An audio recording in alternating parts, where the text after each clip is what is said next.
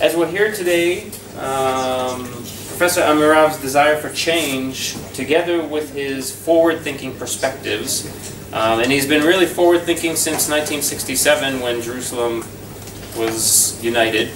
Um, if you have a chance to look him, see the things he's done, I won't go into detail, um, but he's always been at the forefront of, of um, positive uh, ways to deal with the situation in Jerusalem. Um, I think he offers an alternative to this understanding that this, the conflict is intractable. Um, I know it's very easy to get a little bit uh, depressed sometimes when you see what's going on in Israel and seeing what's going on in Jerusalem. But I do think Moshe offers us alternatives, and I think that's the best thing um, that he can do. And I look forward to hearing his lecture today about the Jerusalem syndrome. So please welcome uh, Professor Moshe Amirav. In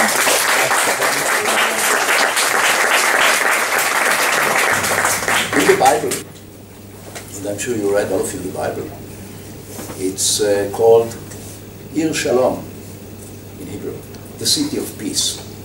But actually, there is no other city in the world who had so many wars. I counted about 37 wars here. Even before the Hebrews, the, the Israelis were here, the Canaanites. And this city saw more blood shed and more wars than any other city in the world.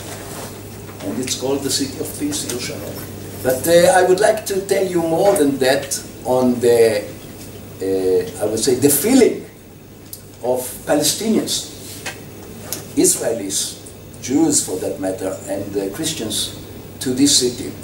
One of the most interesting uh, lectures I gave, I give quite a lot of lectures all over the world, but the most interesting one was one day when the King of Morocco invited me to give a lecture in uh, Morocco, in his palace, to a conference, which is called the Conference of the Muslim Organization Countries. Not if you know, it is 52 Muslim countries, and all of them have a kind of organization, and the whole conference was on, a, on the issue of Jerusalem. So me as an expert, although I am a Jew, Israeli, they invited me to give a lecture there. It was a big honor for me. And uh, also a kind of uh, excitement. I was never standing in front of such an audience of heads of states, foreign ministers, from Indonesia to Tunisia, Egypt, Palestinians. I mean, I'm sitting there as I sit here, and I a lecture about Jerusalem. And they have to be very careful. So I started to tell them that actually Jerusalem is not a political phenomenon. It's a story. And the story that people tell is what makes Jerusalem so important for them. And the story as a story, as you know, doesn't have to be true. It can be interesting. It doesn't have to be true. So what is your story, I say to them? You have a story about Muhammad, your prophet, who came to Jerusalem, you know, with the angel at night, and came to Temple Mount. And you actually show his footsteps on Temple Mount. And uh, since then, it became important for the Islam, two billion Muslims. But actually it's a story. You know that Muhammad was never here. We, we uh, scholars, we know it. And this, when I say, I see that the more I speak about Muhammad, they are getting white in their faces. Look at this uh, Israeli Jew speaking about the Prophet. And they say, yes, it doesn't matter if Muhammad was here or he didn't. What matters is that every child, a Muslim child, knows this story and feels toward Jerusalem because the Prophet was here. So the facts are not important in Jerusalem. And in order to make them feel better, I say, but we have another story here. You know, when you go, and some of you have been to the Holy Sepulchre, where Jesus Christ, you've heard about Jesus Christ, was buried. He was not buried there. It's a story. He was a Jew. He couldn't be buried in the city. He was buried outside of the city. We don't know where, but definitely not in the place where millions of Christians are showing this is his place. It's not his place. He was never there. It doesn't matter. Because the children, Christian children, this is what they are grown up on. This is their story. You can take this story from them. Don't confuse them with the facts. And sometimes, if you go to the Wailing Wall, my Wailing Wall, Kotel HaMa'aravi, you see the Kotel people are standing and crying and touching the, the wall. I was standing there in 1967, touching the wall, crying. This is the last remain of the temple, they say. Bullshit, it's not the remain of the temple. It had nothing to do with the temple. It was even not built by a Jew, it was built by a Roman emperor. It is just holding the mountain. On the top of the mountain, it used to be a temple. It doesn't matter. If you will say to one of the Jews who were praying there, touching the Kotel, crying, he will kill you. so here you have three stories that uh, three faiths are believing and uh, I'm even not trying to change their mind about it.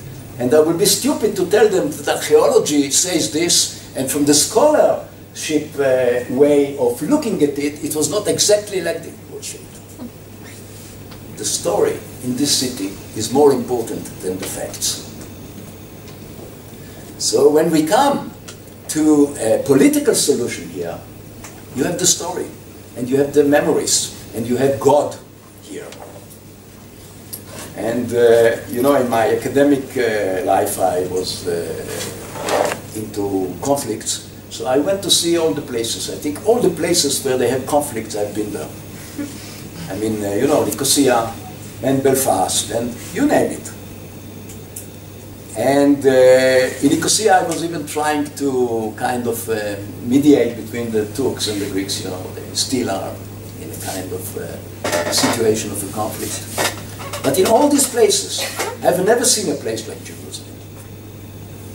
I mean, the, uh, the conflict here is on so many levels that they don't have it in Belfast. I mean, the course I was giving, some of my students are here, I told them about the difference between the conflict in other cities and the conflict in Jerusalem. And in this conflict, what matters is really the fact that this city touches the heart of so many people. They take it personally. So this city, course, knew the Canaanites and all kind of people who conquered it. A lot of blood was shed here. And the question remains, how do we bring peace? Is it possible to bring peace to this uh, city?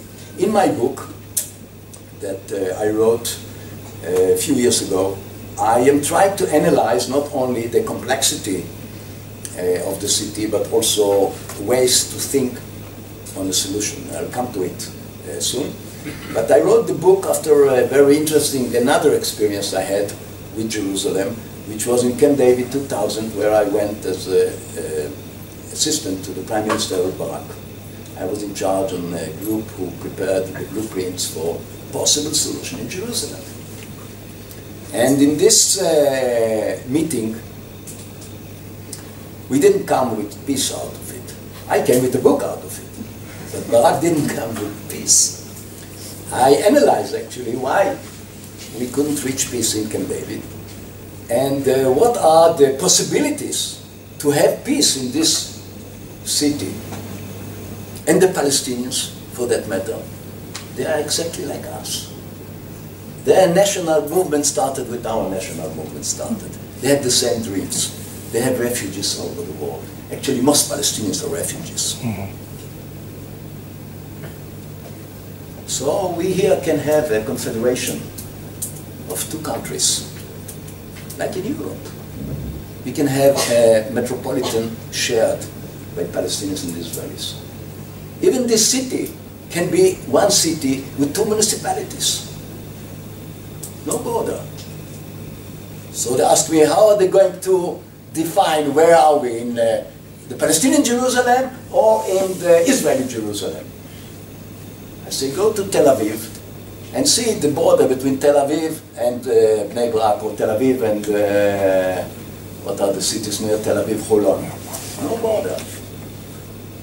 We don't need a border in Jerusalem. If it's peace, if it's a peace situation like in Europe, we don't need a border in Jerusalem. Of course, we'll have signs that will tell you after this sign, it's Palestinian Jerusalem. And in Temple Mount, we can find this uh, formula that uh, Faisal and me agreed on, which is the formula of sovereignty for God. No Palestinian sovereignty whatsoever. No Israeli sovereignty. So this is a dream. So I'm happy you came to hear my dream. It might be that it will never happen.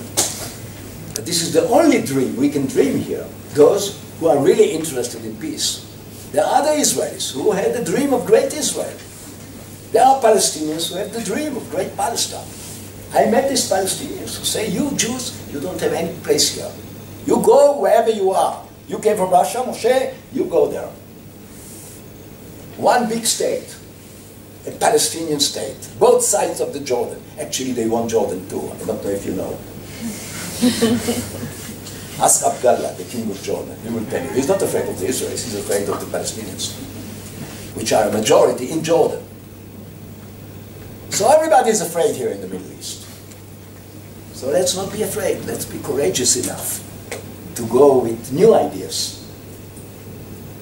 We are strong enough. We can, we Israelis, I say to my friends, to, to politicians, whoever wants to hear, we are strong enough. We can go with our dreams and we can fulfill them if we believe in, this, uh, in these dreams. Otherwise, otherwise my children will not have peace. They will also go to the army and fight the way I did. Thank you very much. Thank you.